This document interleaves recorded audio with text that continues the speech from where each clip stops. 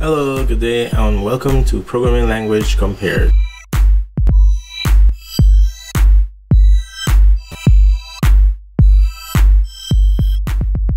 So today we'll be talking about complex numbers in C++. Alright, so one of the things we're going to notice right out of the bat is that C++ complex number is going to look pretty much, the usage is going to look pretty much like C. Not exactly, but sort of like C. And that's not by coincidence, it's because some of the work done in complex number for C++ was sort of backported into C. But we're going to also see some very annoying thing with C++ just like we saw with C. So let's jump in. So one of the things that we're going to see is just like C, in C++, we're going to be using header files. Remember, in C++, the header files are a little bit different. They're pre-compiled header files. They're not quite like important packages or anything like that, but they're somewhat a little bit better and they allow for faster compilation than just straight header files in C. So you drop the .h to show that you're using a pre-compiled header. And then, of course, um, the implementation is going to be provided by in some library, while the prototype, just sort of the declaration of the functions or whatever the types are going to be in, the, in this precompiled header file. But These are the definitions. And the first one is that class that define complex. Now, we haven't talked about classes in C++ and certainly not template classes or templates period. Um, but there's a class called it's templatized and it's called complex. And there is some specialization of that template and specialization for when using float or double or long double. And I'm going to leave it at that and just keep in mind that a class that has a specialization is so that all to take advantage of any sort of differences in that particular type by past the class that um, changes the implementation to take advantage of that type. Okay. So one way to think of it is if I wanted to store an uh, vector of bits, it might be more efficient for me to have my vector class be specialized for bits versus just any old type because I know that oh, um, the way I can store a bunch of bits is just by packing them into an int, for example. A thousand bit vector, um, if I use int, is way wasteful than if I were to specialize that and hide the fact that oh, I could pack those multiple bits into some bytes. All right, enough about that. We'll have time to talk about it later. Um, being C++, it had to be weird. And so here are the um, constructors for our complex class and I'm not going to explain all of it. When we look at some C++ classes, we will talk a little bit about them. But again, we're not going to spend too much time on it in this course. When we do a C++ course, we will.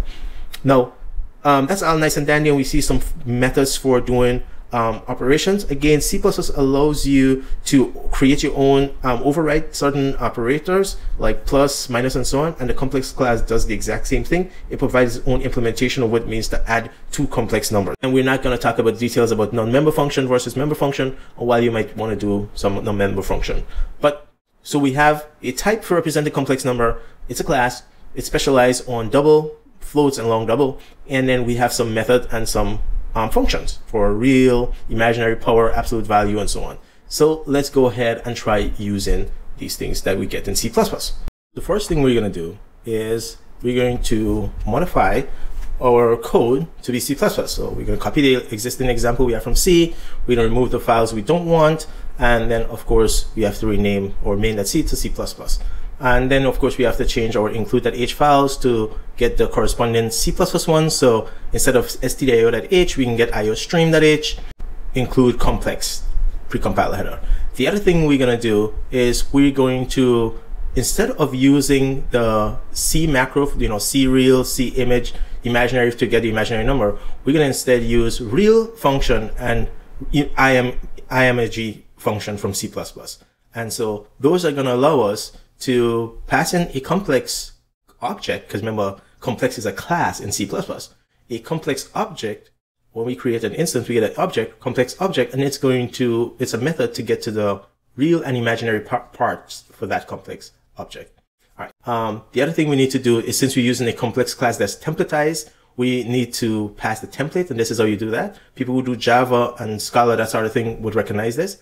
But the other thing we need to do is fix the error that we have there on line 9, line 13, and line 18. And that is, instead of using the insertion operator to insert something into cout, we use the extraction operator. So that needs to be insertion operator instead of extraction operator. And then we're going to try again and compile and see what happens.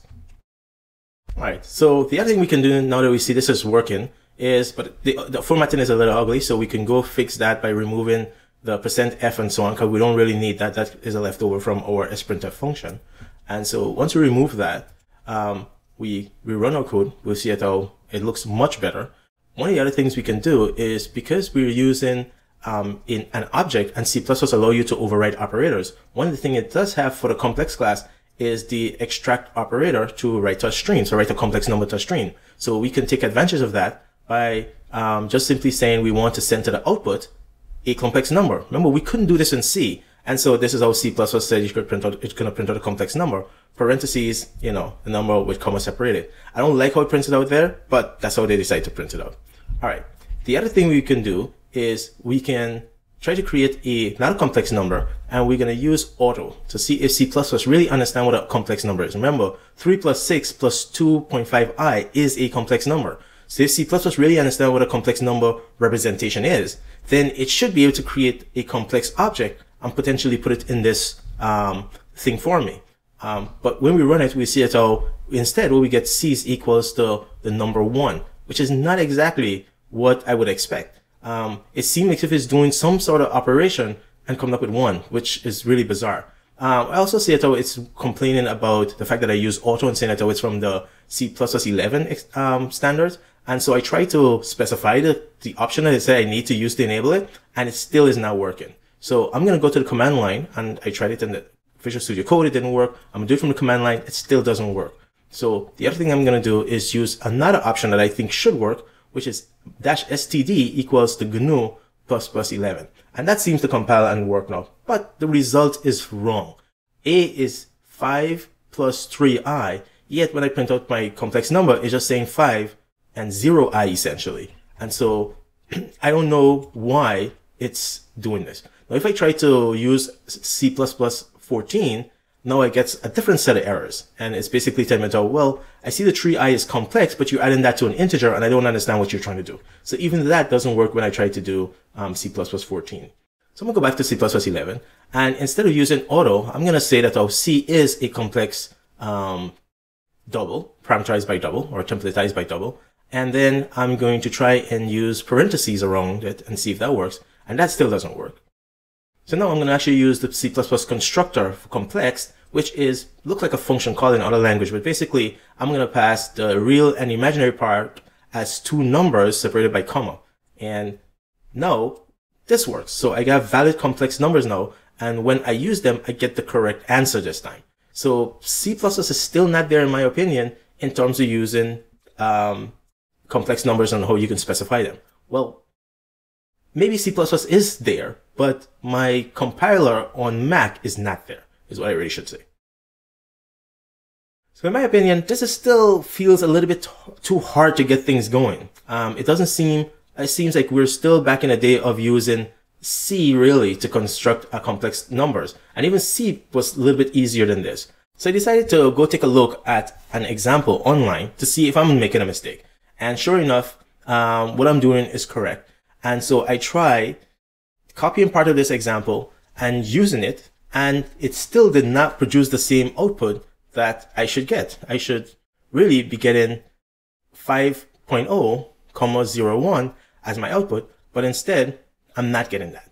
So I'm getting 1.0. So that tells me that the numbers are not initialized properly, which we saw from before. So there's something wrong. Either my implementation is wrong or something. It has to be because if this is saying that this is the standard way of doing it, why is not working? So I decided to go try this in Linux instead. So I jump over to my trusty Linux box and I run it there and guess what? It works.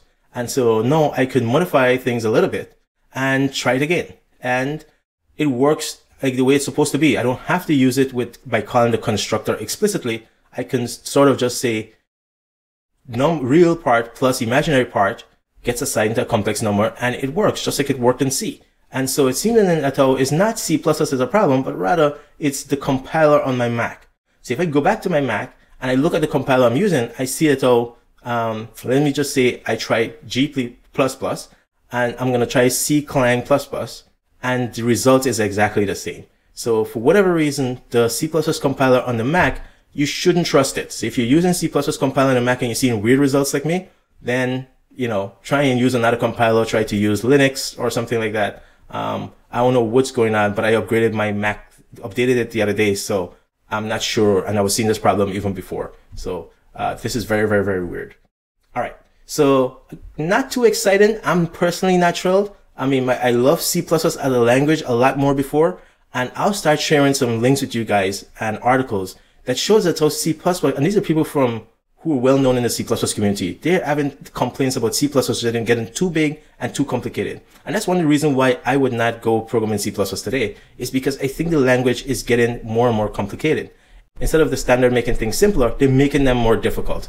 And I don't see the point with computers as powerful as they are today. They should be able to inform more and take care of more things for us, you the programmer, and so things shouldn't be this complex. And that's the other reason that I hate Scala also. It's unnecessarily complex to me. Um, I know not everything has to be easy, but make it as easy as it needs to be and no easier. But C++ seems to go the other way and make it way too complicated. And again, I'll show some link and videos that you can go look at and see people like Scott Meyers, um, who's well known in the C++ community, um, having the same complicated um, complaints, um, making that C++ is just unnecessarily complicated language. And, and he's not the only one. Um, all right. Thanks for your time. Follow me on Twitter, um, Striversity1, Instagram, Striversity, and see you in the next video. Have a great day. Bye.